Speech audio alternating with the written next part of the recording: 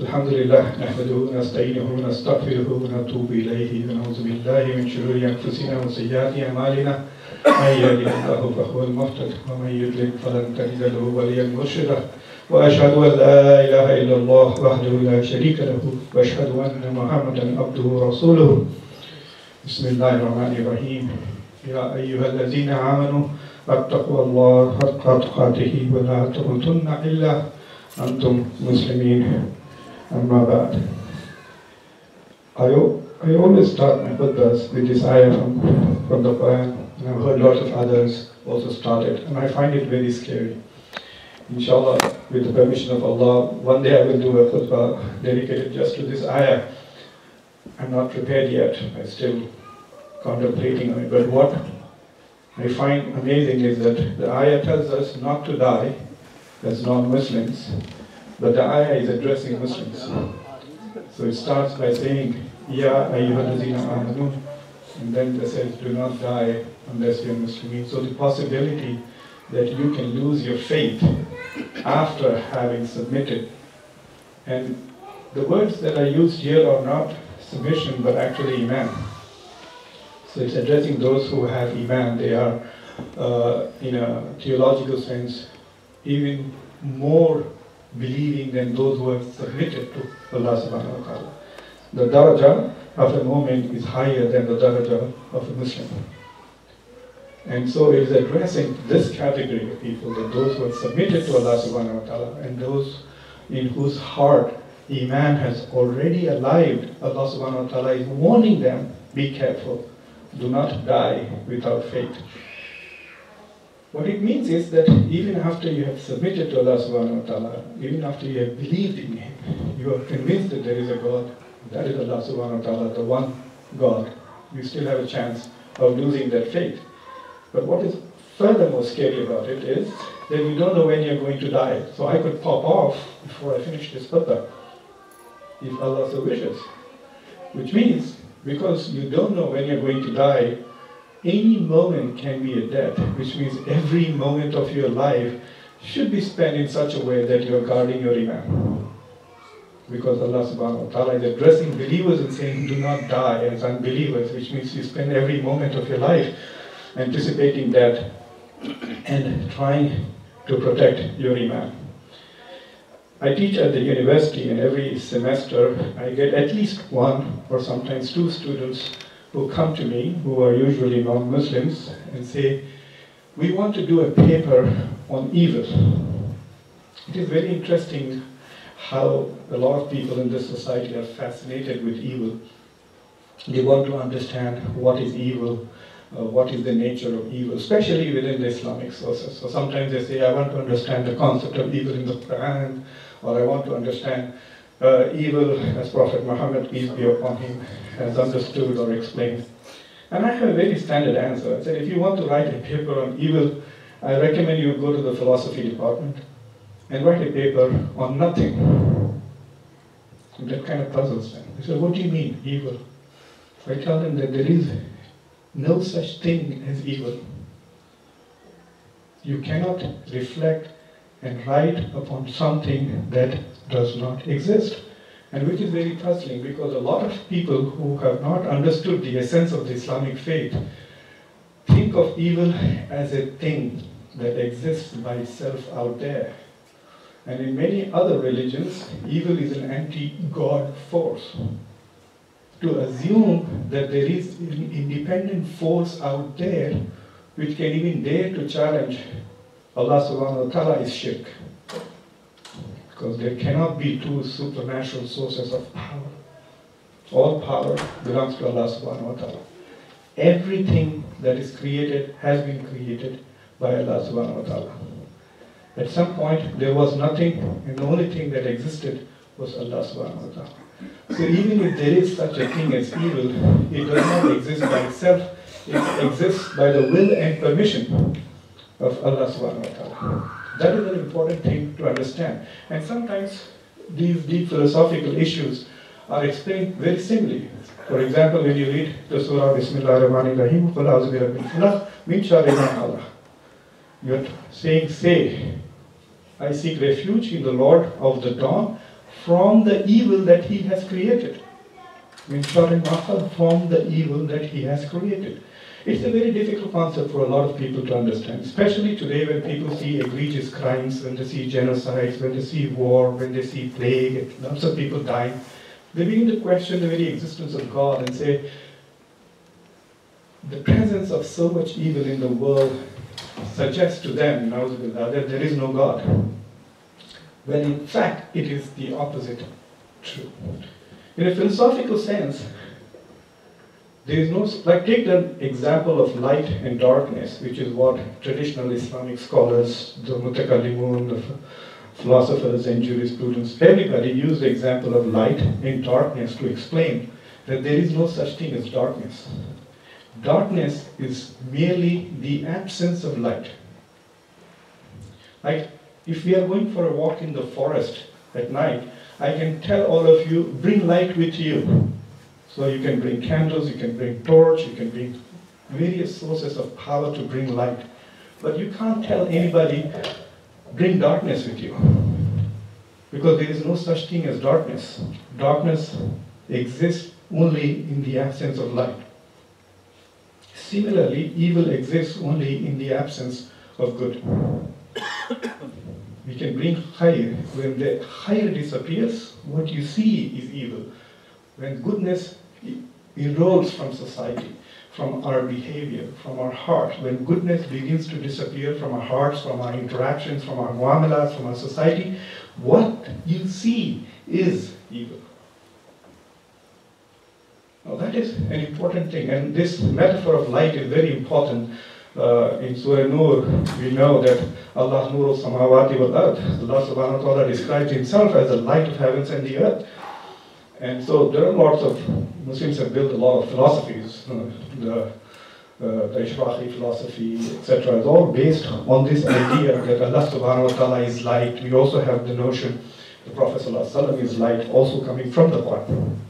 So it is when we forget Allah subhanahu wa ta'ala that there is evil and there is darkness.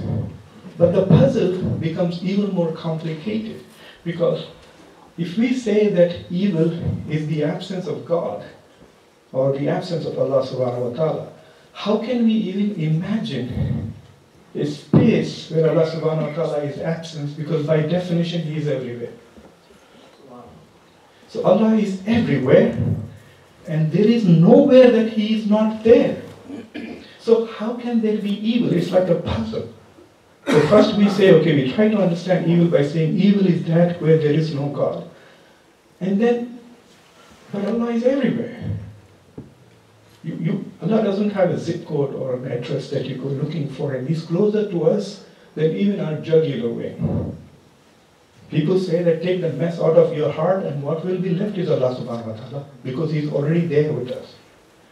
So, so then what is this? How can we imagine absence of goodness and absence of God in order to understand the evil that we see in the world? And for that, you have to understand that A, nothing, nothing at all happens without the will of Allah subhanahu wa ta'ala. Nothing happens without the will of subhanahu wa ta'ala. It is only with the permission of Allah subhanahu wa ta'ala that some unfortunate beings are granted the permission to forget Allah.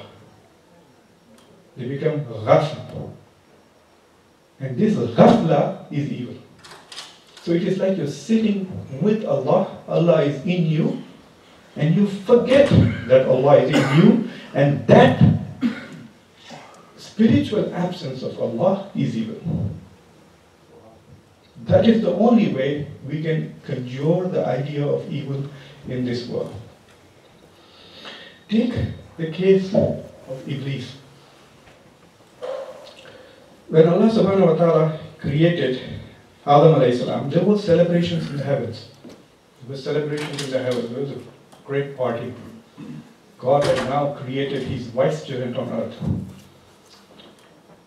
But also importantly, he had created the best of creations, Ashraf al Makhluqat. The human being is the best thing that God has created according to God Himself. So there was this party. And Allah subhanahu wa ta'ala then ordered all his angels to bow before Adam.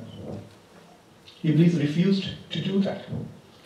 It's a very interesting situation because we don't really know what the ontological status of Iblis is, whether he's a jinn or whether he is an angel, because he's made of fire, and the Quran also says that angels are made from fire. But then Allah subhanahu wa ta'ala, at these three places in the Quran, says, I asked the angels to bow before Adam, and Iblis refused. So he was. So the complicated answer is that even though by fitra he was a jinn, by status, Allah subhanahu wa ta'ala has raised his status to be included among the angels because he had worshipped Allah subhanahu wa ta'ala for, for a long, long time. And Iblis disobeyed Allah subhanahu wa ta'ala. And Allah subhanahu wa ta'ala punished him for his arrogance by kicking him out of the hold of eternity and heaven and said, one day you will be punished. Now this is a very interesting puzzle, even though simplistically we understand that the sin that Iblis committed was that of arrogance. Muslim scholars have also tried to understand it differently in a positive light, actually arguing that maybe Iblis is the only true monotheist, the only entity who would bow only before Allah and he would not bow before anybody else. So he said, Allah, you are only it is only you to whom we worship. How can we worship this thing of clay that you made? You know, Adam made of clay is, is like the idols that people make, which are also of clay in most parts of the world. So how could I worship this idol? But that is not the point. The point is that even at that moment, after worshipping Allah subhanahu wa ta'ala for eternity, Iblis in his heart had an identity of himself. He had an ana. He said, It is I. I am made of fire. I am superior to this entity made of clay. Whereas everybody else was in a state of fana, including Jibril. They have no identity. Allah says, bow, they bow. So their bowing to Adam is not bowing to Adam, but it is a reminder that they have submitted to Allah subhanahu wa ta'ala, and whatever Allah wants from them, they will if Allah says die, they will die. If Allah says live, they will live. If Allah says bow, they will bow. So it's a very interesting contrast. But it is also perhaps the birth of evil in this universe. When Iblis has refused to obey Allah subhanahu wa ta'ala's command. So evil in a way was born with Adam. Because the birth of Adam inspired the emotions of jealousy, the arrogance, and disobedience in Iblis, and he refused to bow. But what is interesting is what is hidden in this arrogance is the idea that he had will, free will, and choice that Adam, that Iblis had the choice to disobey Allah subhanahu wa ta'ala even at that time. So today, as human beings, we must realize that our biggest threat and danger is the fact that as human beings, we have choice. I sometimes wish that I was a tree or a stone, and I didn't have the will to choose. Because when we choose, we run the risk of making a choice which may displease Allah subhanahu. There is an interesting ayah in the Quran, uh, in Surah Anbiya, which says, Bismillah ar-Rahman ar-Rahim, Kullu nafsin dha'iqatul maut. Every soul will taste death. وَنَبْلُوكُمْ بِالشَّرِّ وَخَيْرٍ فِتْنَةً And Allah subhanahu wa ta'ala says, we will test you all with evil and with good. And of course, وَإِلَيْنَا تُرْجُونَ And of course, all of you have to return to me.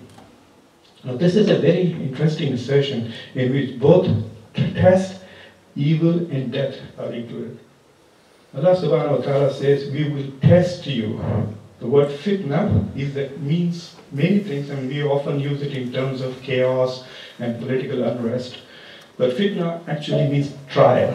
It is a period of trial. It is a period of test. And Allah will test us with fitna, will test us with good and with evil. So those who are safe, especially this is very pertinent to Muslims in America who live in prosperity and peace and security compared to our brothers and sisters say in Iraq today or in Syria and other parts of the world where both these conditions, those who are facing our trials, they're not rewards or punishment, they are both tests. Allah subhanahu wa ta'ala is testing us by giving us peace and prosperity. He wants to know what we can do for Him in gratitude.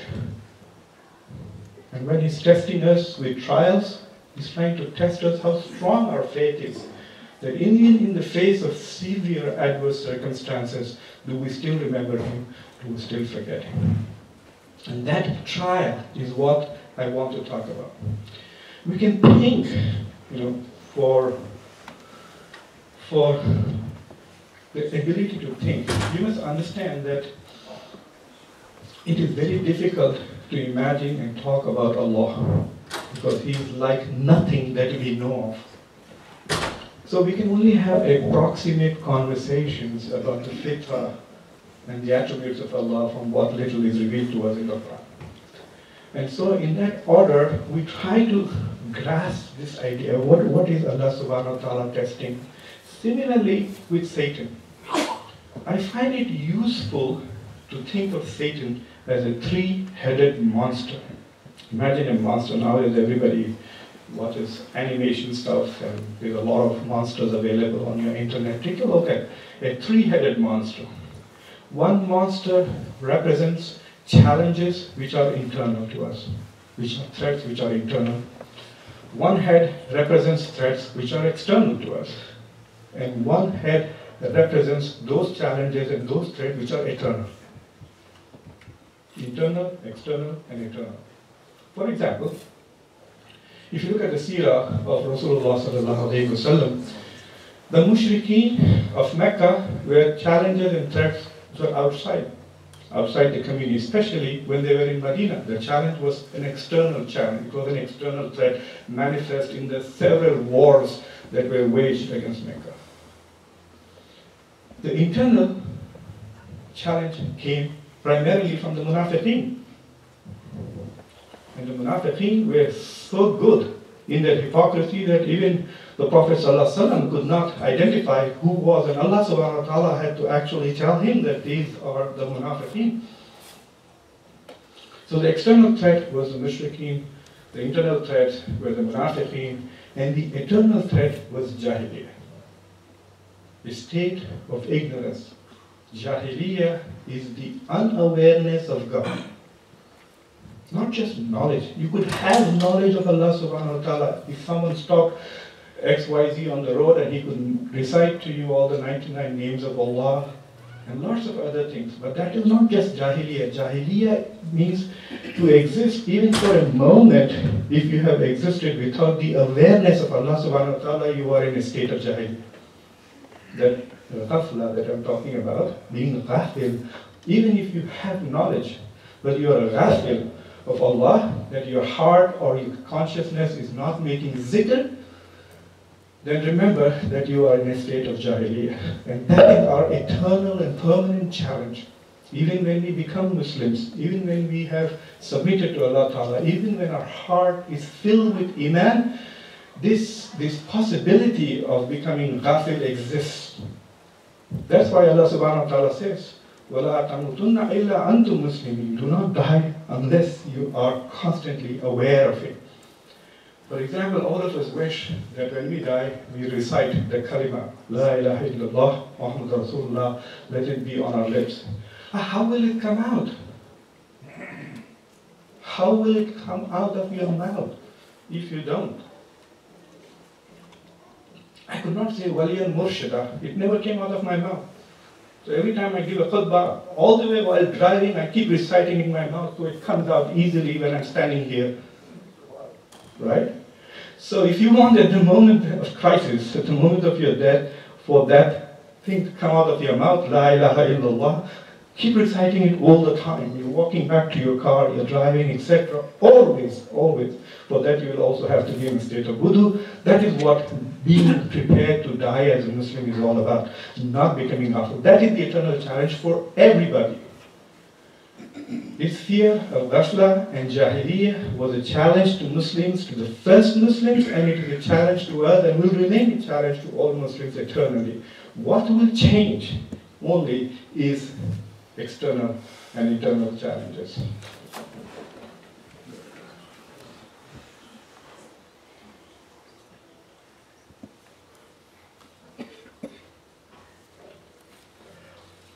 الحمد لله رب العالمين والصلاة والسلام على رسوله Today for American Muslims, I want to very briefly tell you what three challenges that we really face are. Our external challenges are twofold. One is that which we face in our society, in our environment, and those that come from environments far away. So for example, the politics and the reality of the Middle East remains a challenge to Muslims here today, and the politics in this country. Islamophobia is completely on the rise steadily. I remember writing an article just three years ago about Islamophobia, and I found it very interesting that the favorability ratings of Muslims in this country was higher than only atheists. So I remember saying that only atheists are not looked at positively as Muslims are today. But the latest surveys show that we have also fallen below that. Only 40% of Americans have some, a positive view of Muslims. It means the majority of Americans today have a very negative view of it. Uh, you may want to reject it. You may want to say they are prejudiced, they are bad people, evil, etc. Whatever mechanism you use to cope with this reality, remember it will affect you. It will affect your children in the schools. Today, according to CAIR, 50% of Muslim students are suffering from bullying. That means if you have two kids, at least one of them is being bullied, primarily because he or she is a Muslim. People are losing their jobs, finding it difficult to get new jobs in tough economy. And even people who have as secure jobs as tenured professors are losing it in transition. The case of the Palestinian professor at University of Illinois, Urbana Champaign, if you are following it. So this external challenge is Islamophobia. And Islamophobia is like a gas a poisonous gas. Even if you have an airtight room, if it enters one place, it is everywhere.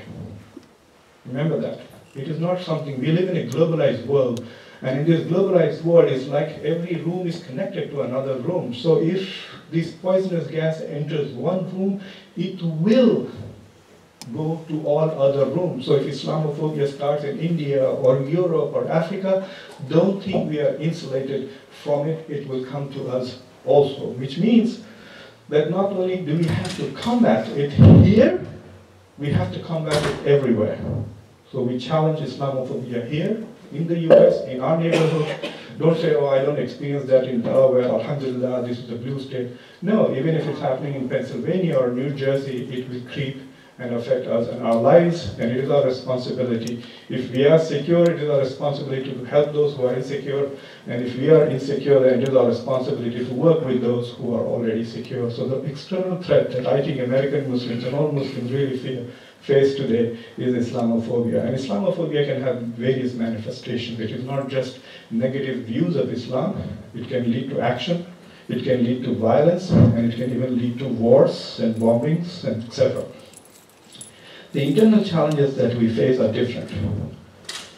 Different Muslim communities have different challenges. We are very, very diverse. We are nearly one-fourth of the world, 1.6 billion Muslims. So the internal challenges of Muslims in Turkey are significantly different from internal challenges of Muslims in Egypt, and even from Muslims in the United States. The internal challenges that we face in our communities are very different. What we face in Delaware are different from what people face in, say, Washington, D.C. And it's up to you to reflect on what are the internal challenges. There are two threats that I see that we should be alert to. I'm not saying that those things already exist in our communities. I see them affecting other communities. And those two things are one is sectarianism, and the other is intolerance of people's different beliefs. If you see Muslims practicing Islam slightly different from you, don't assume you are right and they are wrong every time. Try to bring compassion and understand. If you think they are wrong, try to dialogue with them. If they still do not dialogue, leave them alone. Prophet ﷺ said, Qul khayran aw ismut. Say nice things or shut up. This is exactly what Rasulullah said. Say nice things or shut up. So if nothing nice to say about others, then leave them alone. It can lead to conflict unnecessarily. This is not a time to start internal conflicts over minor issues. The second threat is sectarianism. Alhamdulillah, it has not yet affected Muslims in North America. Lots of initiatives have been taken.